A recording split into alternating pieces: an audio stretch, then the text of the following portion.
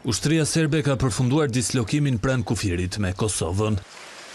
Këtë e njofton ministri serb i Mbrojtjes, Milosh Vuçeviç, bashkë me konfirmimin se trupat do të vijojnë të jenë në gjendje gatishmërie të lartë luftarake.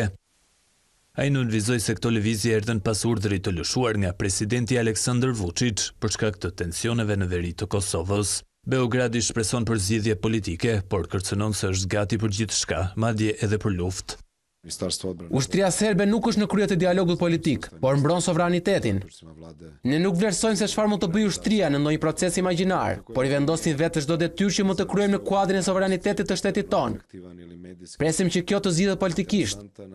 Pse është ngritur gatishmëria luftarake, që të mos i presim serbët në Jarinje me batanije, ujë e sanduiç, por ata duhet ta dinë se ka vija të kuqe. Ministri i Mbrojtjes pati kritika të forta për Bashkimin Europian dhe misionin e KFOR-it në Kosovë, duke pretenduar se po mbrojnë vetëm Forcat Speciale dhe Policinë e Kosovës. Në të njëjtën linjë edhe kryeministrja serbe Ana Brnabiç. Unë nuk kam asnjë fjalë të mirë për partnerët tanë të BE-së apo partnerët tanë të KFOR-it. Reagimi i tyre ishte i vonuar, ata duhet të ishin atje të premten ashtu siç janë sot. Mandati i tyre në bazë të Rezolutës dymbëdhjetë njëzet e katër të OKB-së. Është për të mbrojtur paqen dhe stabilitetin dhe mbi të gjitha njerëzit. Sot nuk mbrojnë njerëzit, nuk mbrojnë demokracinë, nuk mbrojnë institucionet. Ata janë atje sot për të mbrojtur uzurpatorin nga demokracia dhe qytetarët e thjeshtë.